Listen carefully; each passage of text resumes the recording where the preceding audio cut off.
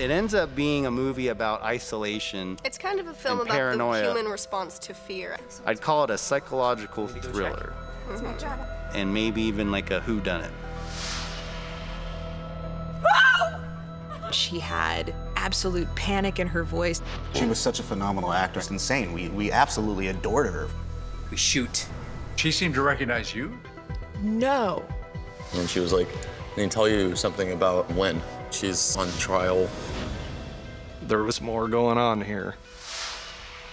She's behind me, and I, I couldn't see him at all. So then all of a sudden, I heard the gunshot, and then I hear him yell, You shot me! I was scared to death. I can only imagine. There was a phone on the table, and I kept trying to dial 911, and I put it up to my ear. I'm like, This thing won't work. And the phone dropped on the floor. And I thought, Whatever, if you're gonna shoot me, do it. So I grabbed all my stuff, I stepped over his body, and go to my car, and I thought, just don't turn around, don't turn around, just get in your car and leave. I feel like I was probably in shock. How did you learn about the video surfacing? I received a call from the case agent, and he said, You got to come to the sheriff's department. You're not going to believe this. When he pushes a button on his computer, my jaw hit the floor.